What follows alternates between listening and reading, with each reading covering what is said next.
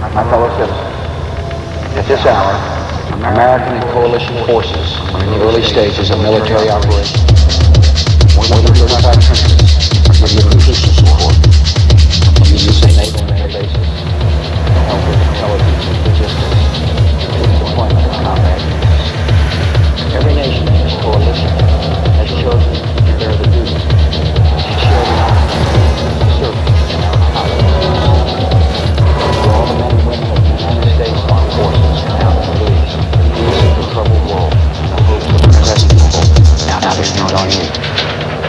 that trust is well placed.